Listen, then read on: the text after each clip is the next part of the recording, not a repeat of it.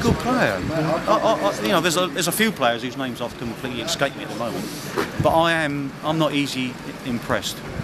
But against Ipswich, I thought Pompey were very good. Their players He played good brilliant McNulty, football. the striker from Sheffield, played well. He's good, yeah. Davies, I like, like you say. Um, who's the others? I like our goalkeeper. Uh, we got a, our right fullback. I forgot his name now. He's very strong. God, I wouldn't like to go up against him, and I was a winger.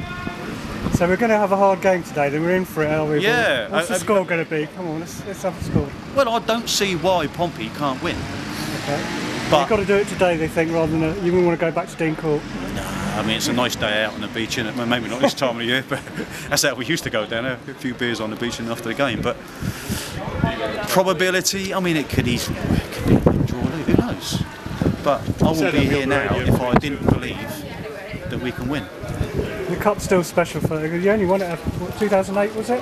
Yeah, I was there. And, uh, and 2010 final. It's, it's worth getting to that final, isn't it? This is a magical day. It's fantastic. I mean, I thought we were going to beat Chelsea as well, even though Chelsea just hit the woodwork five times. Oh, they didn't put it in, did they? You might as well miss by 100 yards. Absolutely.